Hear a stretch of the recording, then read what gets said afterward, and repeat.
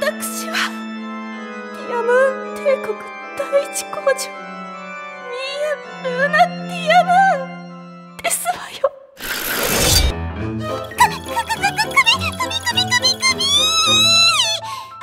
あ、ありますわあの記憶は夢なんかじゃありませんわ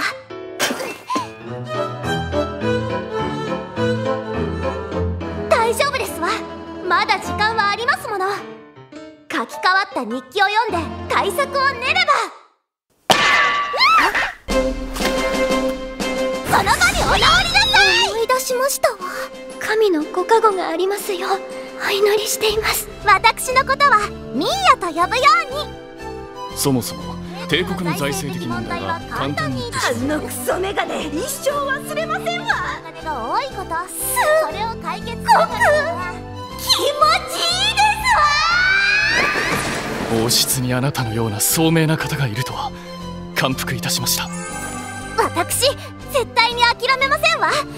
全てはギロチンの運命を回避するために。ティアムーン帝国物語。断頭台から始まる姫の転生逆転ストーリー。2023年10月テレビアニメ放送開